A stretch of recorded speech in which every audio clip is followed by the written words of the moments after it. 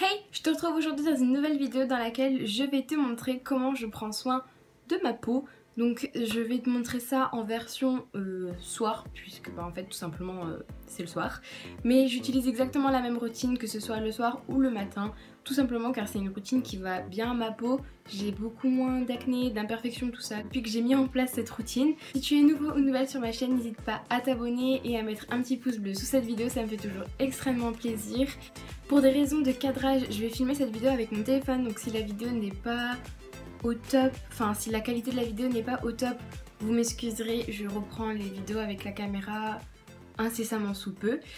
En attendant, j'espère que cette vidéo vous plaira et...